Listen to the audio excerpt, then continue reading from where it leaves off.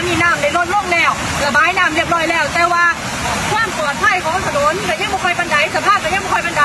ก็อยากฝากพ่อแม่พี่น้องค่ะถ้าผู้ใดสิเที่ยวจากเส้นน้ำเอ่อปากมวลเป็นน้ำแทงไปหน้าโครงการค่ะ ขอให้หลีกเลี่ยงการใช้ถนนเส้นนี้เนื่องจากว่าถนนมันเลยต้นที่มันสุดมันก็สุดอยู่แต่สถานกับบุ้งว่าสิมันคงปันไดซึ่งตอนนี้ค่ะการประสานหน่วยงานที่เกี่ยวข้องกับแขวงแขวงทางหลวงซึ่งตรงนี้รับผิดชอบโดยแขวงอำนาจค่ะกำลังตรวจสอบกำลังลงพื้นที่กำลัง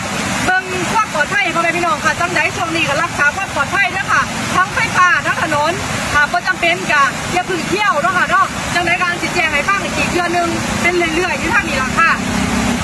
อ๋อสวัสดี